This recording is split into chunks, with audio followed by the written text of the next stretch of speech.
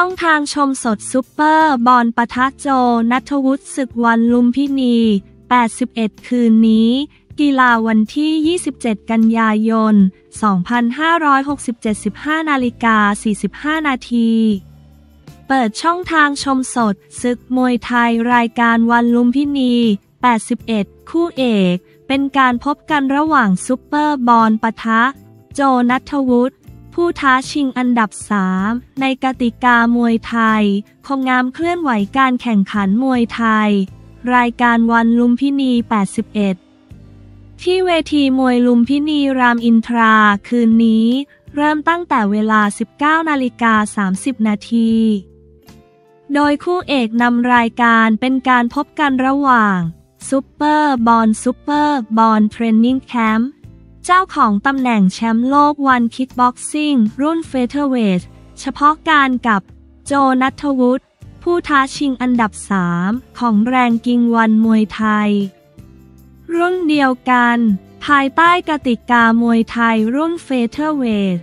นอกจากนี้ยังมีดาวดังประจำรายการ ONE พร้อมขึ้นโชว์ฝีมือให้ชมอีกครับข้างทั้งหมด 12 คู่ โดยคู่ที่น่าสนใจได้แก่นาบิลอานาน บซอลินอู เสือแบล็กทอ พราน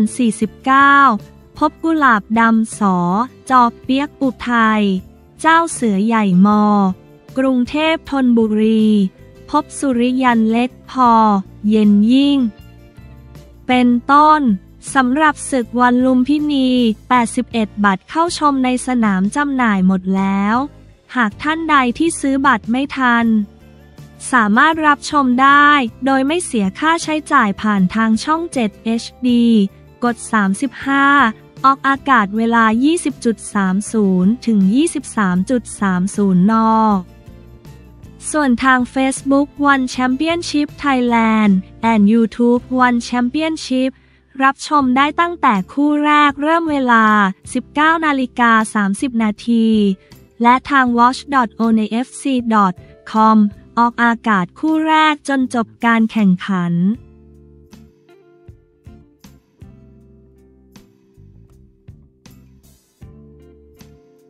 สุชาติเผยข่าวดีเจรจา EPA ไทยเกาหลีใต้ รุดหน้ามาก มุ่งเพิ่มมูลค่าการค้าการลงทุน การเมืองวันที่ 27 กันยายน 2567 16นาฬิกา50 นาที สุชาติรัฐมนตรีช่วยว่า การกระทรวงพาณิชย์เผยข่าวดีเจรจา EPA ไทยเกาหลีใต้รอบสองรุดหน้ามากเร่งเพิ่มมูลค่าการค้า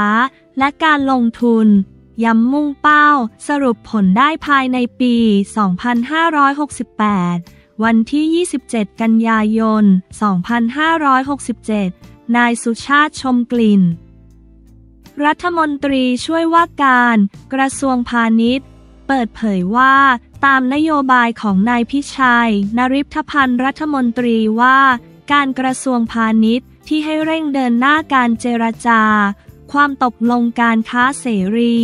หรือ FTA กับคู่เจรจาต่างๆ เพื่อเพิ่มขีดความสามารถในการแข่งขันของภาคเกษตร และผู้ประกอบการไทย ในโอกาสที่ได้เดินทางเยือนเกาหลีใต้ ตนได้ติดตามผลการประชุมเจรจา จัดทำความตกลงหุ้นส่วนทางเศรษฐกิจ Economic Partnership Agreement EPA หรือ EPA ครั้งที่สองระหว่างวันที่ 25 ถึง 27 กย 2567 โดยมีน ส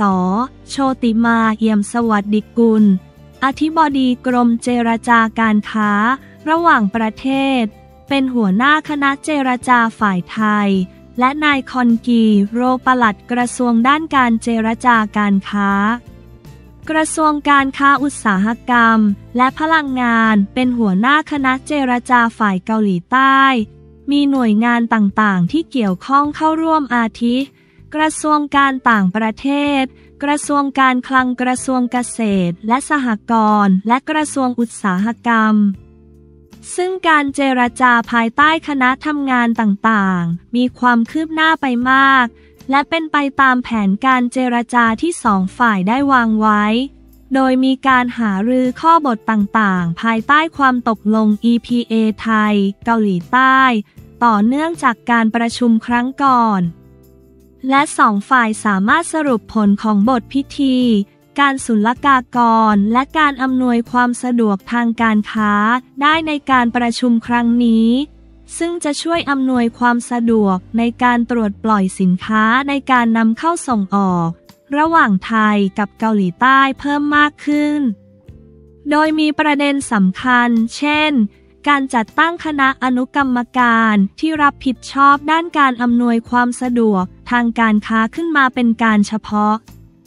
การดำเนินกระบวนการทางศุลกากรล่วงหน้าก่อนสินค้ามาถึง เป็นต้น นอกจากนี้การหารือในหลายข้อ มีความคืบหน้าเป็นอย่างมาก อาทิ บทด้านอุปสรรคทางเทคนิคต่อการค้า บทที่เกี่ยวข้องกับประเด็นทางกฎหมาย และสถาบัน บทความร่วมมือทางเศรษฐกิจ ความตกลง EPA ไทยเกาหลีใต้ จะช่วยยกระดับความสัมพันธ์ทางเศรษฐกิจระหว่างไทยกับเกาหลีใต้ โดยคาดหวังว่ามูลค่าการค้าและการลงทุนระหว่างกัน จะขยายตัวเพิ่มขึ้นจากการเปิดตลาดสินค้า บริการและการลงทุนเพิ่มเติมจาก FTA ที่มีอยู่เดิมได้แก่ ความตกลงการค้าเสรีอาเซียนเกาหลีใต้ AKFTA และความตกลงหุ้นส่วนทางเศรษฐกิจระดับภูมิภาค RCEP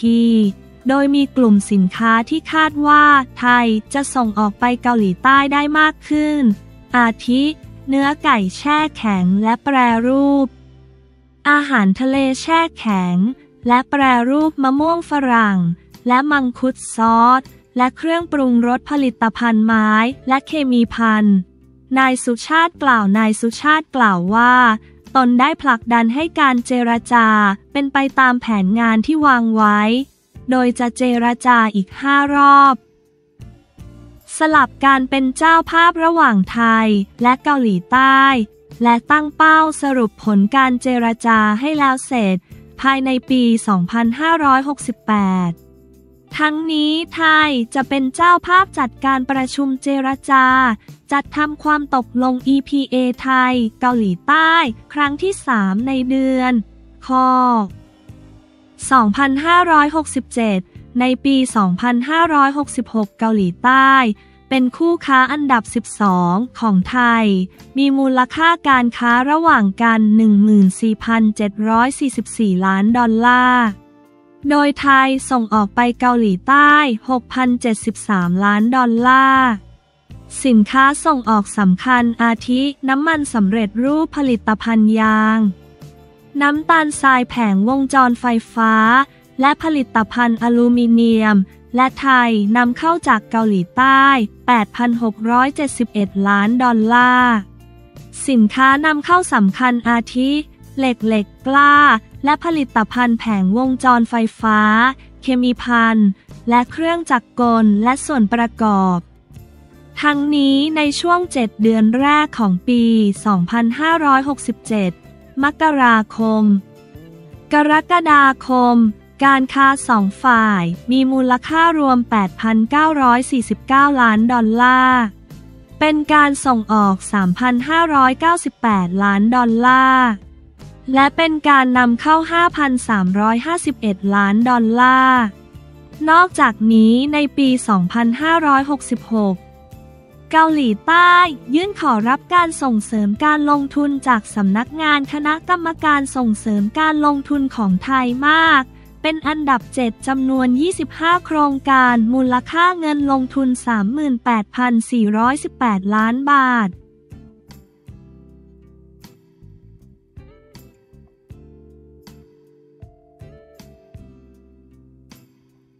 ชาโดไม่พลาดเดินบทเอาชนะคะแนนคู่ชกอิหร่าน วันลุมพินี 81 กีฬาวันที่ 27 กันยายน 2567 22นาฬิกา 14 นาทีชาโดสิงห์มาวินนักสู้วัย 24 ปี จากเมืองตาก ไม่มีพลาดหลังเดินหน้าบทเอาชนะโมฮัมหมัดเซียซารานี นักชกตัวตึงจากอิหร่าน ศึกวันลุมพินี 81 ที่เวที มวยลุมพินีเมื่อวันที่ 27 กันยายน 67 มีขึ้นสังเวียนทั้งหมด 12 คู่ ซึ่งต่างก็ผ่านตราช่างพร้อมขึ้นชกทุกคู่ อีกคู่ที่น่าสนใจชาโดสิงห์มาวินนักสู้วัย 24 ปีจากเมืองตาเดินหน้าล่าชัยชนะ 3 ไฟต์ติดต่อกันด้วยการพบกับ โมฮัมหมัด เซียซารานี นักชกตัวตึงวัย 22 ปี จากอิหร่าน เจ้าของสถิติสี่ไฟท์ไร้พ่ายในกติกามวยไทยรุ่นเฟเธอร์เวท 145 ถึง 155 ปอ ผลปรากฏว่าชาโดเปิดฉากเดินต่อยได้อย่างยอดเยี่ยม ก่อนฮุกหมัดขวา ส่งคู่ชกชาวอิหร่าน ลงไปนับ 8 ก่อนก่อนจะเป็นฝ่ายเดินบท ปล่อยหมัดเข้าเป็นชุดชุดครบสามยกกรรมการชูมือให้ชาโดสิงห์มาวินเป็นฝ่ายชนะคะแนน